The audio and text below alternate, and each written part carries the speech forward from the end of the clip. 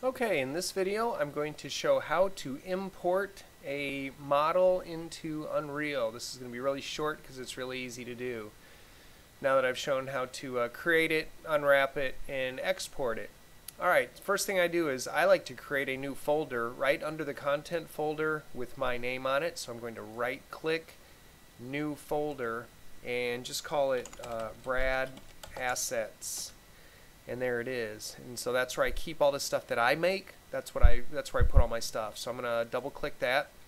Drag files here or right click to create content. Well, I'm just going to go find that uh, file that I created earlier. So if I can uh, so what I did was I put it on my D drive. So give me just a moment here. I put it um, right here so here it is. It's this uh, table 01.fbx. If you'll remember, we created that in the earlier video. It's just a table, small table, 25 kilobytes. That's really tiny. So I'll just click it, drag it, and drop it right in here. It will bring over, look at that, it brings over the materials and the textures. Excellent. That's exactly what I want. It is not a skeletal mesh. There's no animation on it. There's no bones in it. It's just a regular, just a regular static mesh. And I will say import all. So what it does is it brings in my actual table, the static mesh right here. It also brings in the texture, that piece of wood that I used, and it creates a material out of it. Let's go look at the material first. So let's double click it.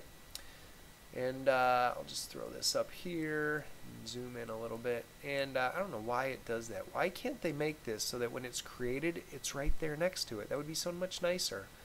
Epic, are you listening? Do that. Anyway, that's kind of nice right there. I like it, and so I'll just save. And everything looks good from there. And I'll come back into my map. Here's my object. If I double click this, then it brings up my static mesh editor. And uh, let's take a look at my static mesh editor. There it is. There's the, the table. Zoom in here a little bit. It looks really good. I've even got some nice grain going on there. and can look up and under the table. So everything seems to be just right here for my table. I'm really happy with it. So let's go back into here and let's just drag it right into, and I can drag it anywhere pretty much. I could drag it on here or in here or whatever. And I like it. I like my table. So it looks good. Let's go play. Oh, you know what? Let's have some fun with it. Well, first of all, play. And uh, if I try to uh, Look at that. I can step right up on it. So it comes in with collision on it. That's pretty cool. It's already got collision. And uh, let's see. Now, what if I, uh, instead of jumping on it, what if I wanted to just kick it around, knock it around? Down here, physics. Let's simulate physics. And then hit play again. And this time, instead of jumping on it, let's just kick it around a bit. Oops. There we go. It's almost too small for that. There we go.